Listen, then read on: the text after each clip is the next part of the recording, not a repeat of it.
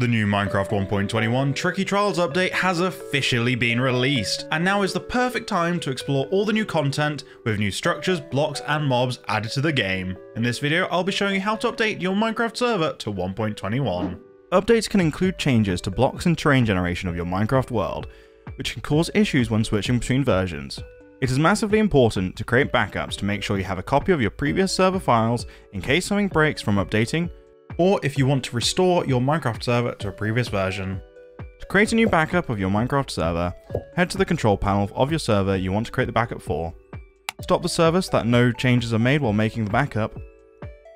Now, we'll be making a full manual server backup to your computer using an FTP client.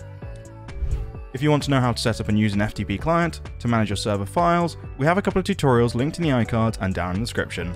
For this tutorial, I'm going to be using FileZilla to create the manual backup by simply copying all of the files in your server directory and downloading them to a folder on your computer. For this video, I'm just going to put these files into a folder on my desktop. Now that you have created a backup for your server, you're ready to update your server. But you might require to do an extra couple of steps when updating your server from even older versions of the game.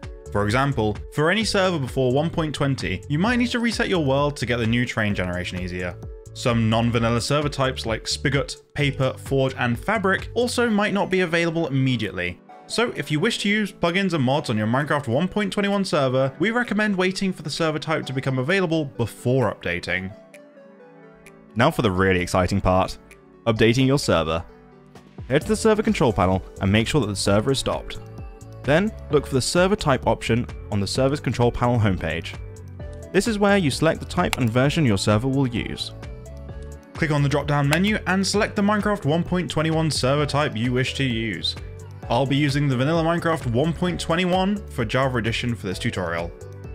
With Shockbyte, you also have the option to select the auto updating vanilla Minecraft option, if you want your server to just automatically update to the newer versions of Minecraft 1.21 when those updates come out. Once you've selected the version you want, it should automatically save. Then scroll up to the top of the page and start your server. And that is it. You have successfully updated your server to Minecraft 1.21, and now you can enjoy exploring the Minecraft Tricky Trials update with your friends on your Minecraft 1.21 server. If you found this video useful, then like and subscribe for more Minecraft and other gaming content.